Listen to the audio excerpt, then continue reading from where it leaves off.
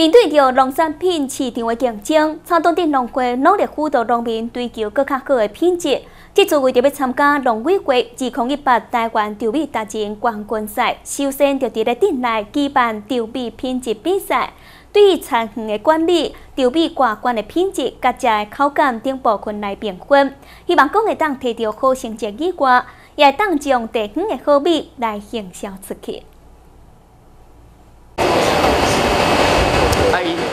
为了选出到稻米的达人，比赛来进入最后评分的阶段。多讲看稻啊外观品质，还有嘛主办来感受食的口感。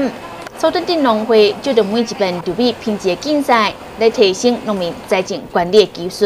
在两个品种在草屯的话，都是他们的主力品种。那目前两个销售都不错啦。哦，那口感上也相差不呃相差不大，不过就是在那个。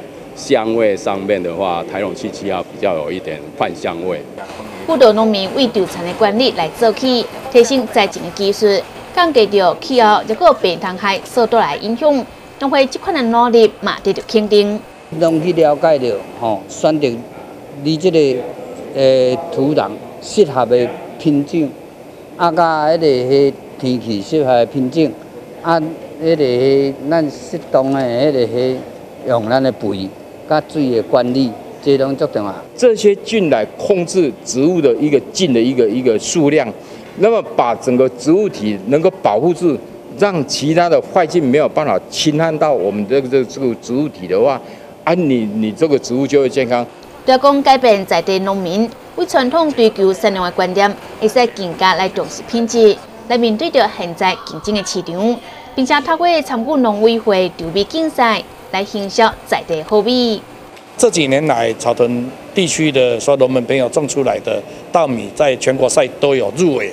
那我想说，今年的看起来的这个品质，哎，更胜于去年跟往年哦。所以我对今年的比赛非常有信心。农会表示，已经选出的草屯镇的稻米达人，代表参加整个赛。马恩满讲，会使提升消费者的信心，会使加食米，提升农民的收益。记者刘明新。